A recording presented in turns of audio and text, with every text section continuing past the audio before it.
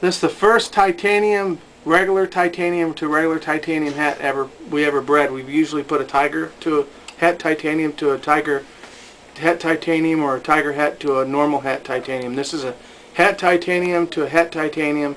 So we should have all titanium. So we're hoping actually we haven't hardly hatched very many titaniums. So we're hoping to find all the different varieties of normal titaniums in this clutch. So here we go. Tim over here is the guy who bred them all. I just watch. Smile. And the first egg is a normal. And the second egg is a dun dun dun. Woohoo! Titanium.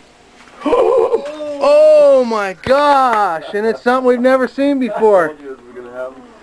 Look at the Look at that. oh.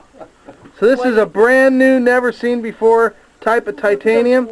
It's got white lines up and down its body on both sides. It's patternless with little dit dot dashes up and down the sides. Ho ho! That is cool. First one ever. So maybe we'll get something else. That's why we thought maybe we would get something unique out of this because it's the first time ever.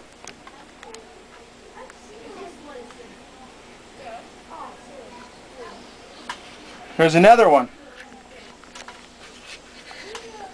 Now this is pretty much our traditional titanium. So there's another, now there's a traditional titanium. Although we thought maybe they would be not this, this color, but wow, that's, it's a chrome back we call them. They got a real silver back. Oh my goodness. This is unheard of numbers. Nose out and everything. We'll see what happens here. See, these were really close to hatching. You see, they're full size. See, and this is a, one of the what we call a gold-sided titanium. See the really heavy gold on the side. I don't know if it shows in the video with a silver, silver titanium back. Wow, that's three eggs out of four. That's like opposite of what it's supposed to be. But we'll probably balance it out here. But it is Sunday. We ha we cut our eggs on Sunday if they're close because we like. Oh my gosh. Like I said, we like Sundays.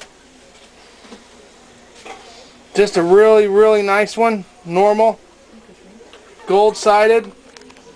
Wow, but really exceptionally good looking.